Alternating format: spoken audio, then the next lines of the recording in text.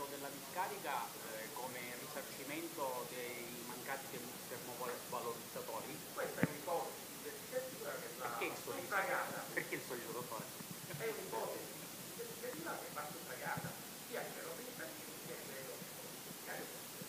So ambiente eh, è di proprietà, parlo della discarica, è di proprietà di Catanzaro? Come? So ambiente. Nessuna.